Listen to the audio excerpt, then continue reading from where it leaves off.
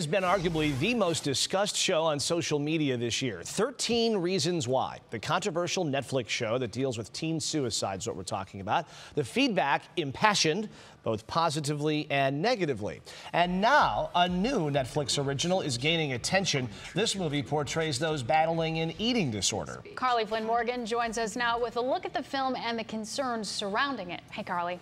Good evening. The movie To the Bone has been accused by some of glamorizing eating disorders. It stars a pretty thin young actress who lost weight for the role, but it also presents an opportunity to start a conversation. We met with a therapy group screening the film together, relating to the bone with their own struggles. The way that you're going, one day you won't wake up. I can't stop. To the Bone stars Lily Collins as Ellen, a young woman living with anorexia. That was very similar to my experience. It's a familiar story to the women in this room.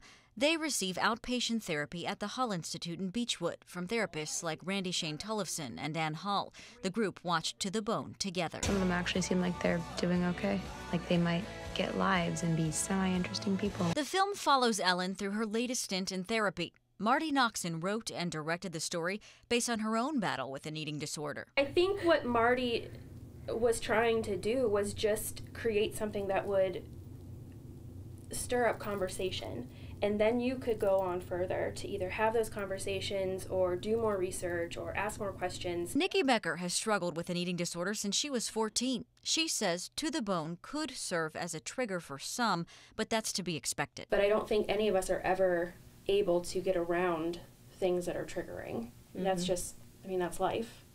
So I don't think it glamorizes an eating disorder, personally. The group had positive reviews for the movie, but therapist Ann Hull doesn't think it's something young people should watch alone. I do think people that, especially teenagers who don't know that they're having some behaviors or they're prone for an eating disorder, they could get some really cool ideas from the movie, no question. While not everyone has an eating disorder, To the Bone touches on issues of family and self acceptance, themes that speak to us all. The main thing here is knowing this movie is out there. You may want your kids to avoid it, but maybe it's an opportunity to watch it together and discuss. And if you or someone you love is struggling and needs support, you can find resources with this story on WKYC.com. Chris. Carly, thanks very much.